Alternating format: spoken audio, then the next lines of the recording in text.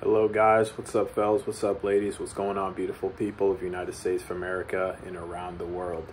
Uh, we are here again today, live people. um, just coming out uh, more of a, a personal development, um, you know, sort of message today, okay? Um, you guys know how I love talking about uh, business and investment um, and, and, you know, moving forward and developing in those areas too. But what's most important, guys, is personal development, guys, and that's that's pretty much one of the most important things when trying to um, get the most out of you want uh, out of what you want, right? Within within whatever area that you're doing, right? It could be business, it could be investments, it could be either working for somebody, it could be playing a sport, uh, it can be starting your own project, it can be running a charity uh, it can be anything, guys, right? but mostly we'll stick with business, right, and investments and uh, and with trading. Um, uh, you know, I'm starting to get some uh, some messages and responses and hit ups uh, from from different people, and it's amazing. It's all good. It's awesome. You know, I love answering questions. I love uh, providing my input and um, you know just some suggestions and advice. Again, I don't, you know, provide financial advice or anything like that. I'm not a financial advisor or a tax advisor or anything like that. But the message today is to um, stay in your lane of growth. And what do you mean, Calvin, when you say stay in your lane of growth? I mean to focus on your growth only, okay? So if I am in a group right? If I am, say, in a trading group or an investing group and someone is doing better than me, that's awesome. You know, that's awesome. I give them a round of applause. But I am not going to stress myself if I am not at their level yet. Okay. I feel like a lot of people that are coming into this space, right? Uh, you know, either trading, investing, or business, or this could be even, uh, you know, it could be even with something else, right? But a lot of people come into this space, they feel like, oh, you know, Susie actually, she gained, you know, 200% on her portfolio in the week. You know, why can't I do that? You know, why can't I do that? I should be able to do that. And when you try to compare yourself with somebody who's doing better, um, it's not good. You know, you want to focus on your own individual growth, okay? Because if you start to measure uh, your tape of growth or success against somebody else, um, you might fall short, fall a lot short. Why? One, you you don't know how long they've been doing it for. Two, you don't know how much work they've been putting in. Okay, and three, you don't know exactly what their strategies and moves are. Okay. So, you know, if you, especially in trading, guys, I see this a lot. You know, I see this in, in trading rooms a lot too, guys. Um, you know, uh, we'll be, you know, a part of some group, right? And, you know, I'll, I'll have people, you know, I'll see people asking, oh, what are you doing for this trade? Or what are you doing for that trade? And, you know, they're getting kind of confused. Oh, I thought you said you're supposed to do this or you're, supposed you're supposed to put the stop loss there. Guys, you want to develop your own strategy, your own game plan. Once you start to really, uh, um, how should I say it, rely, especially on trading, you're supposed to be relying on your own analysis, on your own bias, okay? And if it's wrong, then it's wrong. That doesn't mean that you suck, right? Um, you know, trading is not a, you're not going to win every trade, right? So LeBron doesn't win every game. Kobe doesn't win every game. Like, uh, you know, big sports stars don't win every game. Big actors and actresses don't hit the parts every time. You have to move within your own bias, right? Within your own, you have to make your own decisions right? So once you keep um, measuring yourself with somebody else's success, right? And I'm not talking about there. There's certain platforms where they offer signals and stuff like that. And again, that's awesome. That's fine. But what I'm saying is when you're constantly seeing and checking and asking what literally other people are doing in their trades, um, and again, you know, there's nothing wrong with that you know to a point. But when when you're really uh, you get to a you, you get a point where you're not thinking for yourself right? Especially uh, if you already learned how to trade you already know technical analysis i don't have to go to valerie or susie or tom or ted and ask them uh, oh you know what'd you do here or what'd you do there you know, I might say, hey, you know, um, you know, what trades you place, you know, and they may say, oh, you know, I just traded a, uh, I just traded the euro, right? I just traded the euro. I just bought long. I went long, right? And then you can ask them, you know, why you did that, and you guys, you guys can, you know, go back and forth, but you don't have to be kind of like a, um, I wouldn't say a nuisance, but every single time you're trying to sort of uh, piggyback off somebody else's analysis, right? Because again, that's that's wrong. Not only because obviously you want to win, okay, but it could be it's wrong because what if they're wrong? You know, what if your analysis was actually right in the beginning, right? So this is what happens, and this goes for uh, trading, this goes for investments, this goes for business. You don't have to literally copy somebody else's idea or business or investments or trade.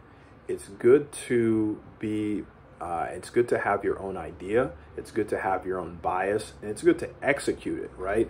Because once you execute on your own bias, guys, and it's it's not from anywhere else but your own bias, that's going to reinforce your confidence, especially if it goes your way. But if you keep going ahead and, um, you know, piggybacking off of somebody's efforts, right? And I'm not saying that's completely bad, but over a period of time, if you can't think for yourself, uh, you're going to rely on that. Um, that's not good either.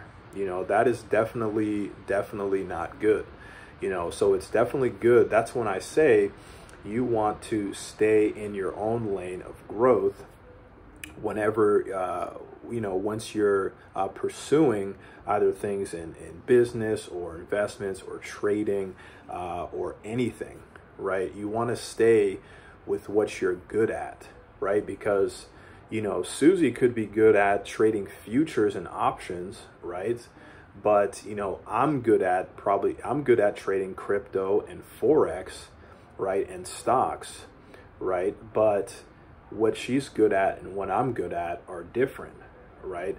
And so you know say if i i could talk to her and say hey you know why why did you make this trade? Or what made you place this trade? What did you see?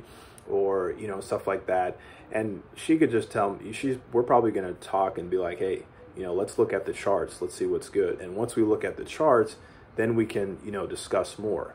You know, it all goes back to not only technical analysis, but she may have something on the inside that may move the market, right? So um, it's always good to have your own bias and move in your own way. Even if you're wrong, guys, even if you're wrong, um, you know, it's always good to have your own opinion, right, and your own bias in moving forward and making that trade, making that investment, starting that business, or whatever, right? Because if you're right, right, that's amazing, right? And say, say if you had a really good bias or a really good idea or a good strategy, but you weren't confident in yourself to go ahead and lay it on the line and go ahead and execute that um, and somebody else had this somebody there's 7 billion people in this world guys. So we're all thinking similar things right? So somebody else probably in Europe did something that was similar or the same thing you were thinking of doing. And you went with Susie's idea. They implemented that idea that you originally thought and they were successful, you're going to be beating yourself because you should have went with your original idea and your original thought and your original plan. Right? So this is again, this is why I say it's always always good to stay in your lane of growth, right? And don't worry about who cares if Ted or Susie or Valerie they made 5,000 last week or last month or 20,000 or 100,000, right? You don't know the types of trades they're doing, right? And if you want to, you can definitely ask, you know, and you know, talk to them, get a little bit of insight and see what's up, but you don't have to necessarily copy everything that they're doing, right? Um, because they could have been that that you don't know what that income is coming from, right? So, you know, I always love to talk to and you know conversate with real traders, you know, and investors that are making uh, real trades, you know, daily, weekly, monthly, and yearly, um, and that actually know what they're doing, right? Um, I realize, especially on YouTube, it's very all these all these concepts and all these things sound really juicy. These technical analysis and everything it sounds really juicy in theory and it sounds so good. But when you're out there in the real markets and you're trading uh, it really makes me question are these guys really trading with real money? It's not because uh, if they were trading with real money i feel like they'd be more emotional and uh, and really knowing what they're what they're trying to do and knowing what they're doing, right? So again, guys, uh, you know, be definitely be careful. Be careful of who you listen to. Uh, be careful of who you get your information from. Uh, again, this is the digital realm, but this is also the information age. Okay, this is not the industrial age, this is not the stone age, this is the digital realm, and this is the information age, right? So it's always good to have your own bias and your own, uh, you know, uh, opinion, but when moving forward with a trade or an investment, right? So it's and don't worry, and who cares? You know, you, you know, you and your friend and that's good too. It's all I love talking investments, trading, you know, watch lists, everything like that. But if somebody else is investing, say if you know we, I'm talking with someone, uh, you know, I met at a conference. We're talking about uh, crypto, right? He says, "Man, I'm investing into XLM. I think XLM is going to go up. I think it's going good." And I go back. I say, "Why?" You know, and he, he tells me why. Oh, interesting you know, I don't have to go ahead and invest in XLM, right? So I have my own portfolio, my own watch list, right? But again, it's always good to exchange and to know what, you know, others are up to maybe, but it doesn't necessarily mean, oh, I have to copy their uh, their watch list, their portfolio. I have to do everything they're doing because they may be doing something that they're really good at, right? And let's talk more. Let's talk more broad, right? So let's uh, besides crypto, right? Let's talk more broad. Let's talk, say if someone's investing in real estate, right? And someone's thinking uh, of trying to, uh, you know, fix and flip a property. they come to me with, uh, they come to me and they say, hey, man, you know, you should do fix and flips. Uh, or you should do buy and holds. I think it'd be really great in your portfolio. You know, and they're probably right, right? But I'm not good at that. I'm not going to stress myself out over it. I'm not going to keep worrying and stressing myself over that. Why? Because I'm not good at that. And uh, I'm not willing to spend money on that in my career just yet. But, you know, I can listen and tune in, right?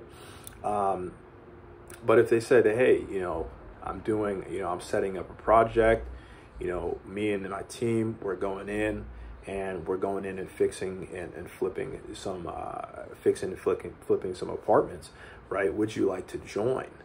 Um, you know i'd probably say i'd definitely say yes but i'm not touching a damn thing. I'm putting money in and i'm expecting a return right? Because i'm not lifting a hammer okay so that is pretty much um, that you know and th- they have those real estate you know funds out there. You know you guys have probably been uh, approached by somebody like that too. And those are awesome guys right? There's definitely different types of funds out there. Again you have to invest at your own risk right? And you have to do what you're comfortable in okay? But that is what it is because they could be good at that but I'm good at seeing the numbers in the deal and making a solid decision, right? Um, what I'm not good at is taking a hammer and starting to fix and flip a property. Um, I could probably get good at that, but that would stress me out, and I don't really have time for that right now, right? So that's pretty much what it is, guys. You want to stay in your circle of competence right? Stay with what you're good at. And uh, if you have a bias, you know, I would say go along with it, you know, stick with it. Don't just erase your bias just because, oh, you know, you see a headline on Yahoo Finance, oh, Bitcoin's going to crash. And I've seen plenty of the, I, I've traded against many of the headlines and that I read on CNN, that I hear on the news, that I hear on Yahoo Finance, MSN, whatever. They're saying, "Oh, Bitcoin's dropping. It's dropping fast. You know, take your money out." I'm saying, "No. Why would I? Why would I take it out now? Where, where's Bitcoin going? You know?" And, and, and next thing you know, I'm I end up being right. That bias that I had, I said, "No. I'm trading it up. Do these guys not see the charts? Do they not know the technology? Do they not know what's good? And apparently they don't know because they're all journalists. They're not traders. Okay? So you have to have your own bias, guys. You have to, if you know what you're doing, just be confident in what you're doing and move forward, you know? So, you know, that's pretty much what it is, guys. All right? So stay in your lane of growth if somebody else next to you is doing really better, that's cool. Try to learn from them, right? Uh, don't stress out. You know, you will get there.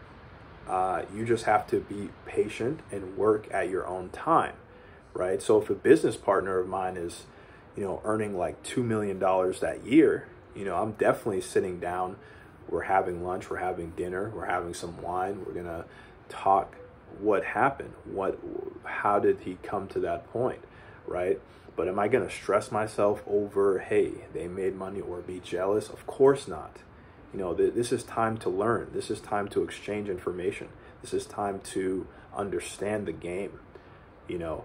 And um, this is time to really take your growth and really stay in your lane to get to the next level Okay, so that's pretty much what it is, guys. That is the you know personal development nugget that I had, and I want to share with you guys today. Um, I know that lots of crazy things are happening in you know in the crypto markets, even the stock market, uh, just even in the economy in general. You know, we know the Fed is printing, you know, billions of dollars per month now, um, and this is ongoing. Uh, and we're probably going to be receiving more stimulus, which is, hey, I mean, it's free money, right? It's great. Uh, but, uh, you know, the real investors, the real traders, the economists know what's happening. And, you know, you got to know on how to protect yourself in this economy now. Okay. So that's all that I have to say, guys. Um, you know, that's it. Uh, you know, definitely let let me know what you think about this, and um, you know, go ahead, comment below, and please, guys, go ahead, like and subscribe to this channel. Really helps uh, this content circulate around YouTube, so more people can get updated on this type of information. All right, I'll see you guys soon in the next one. Peace out.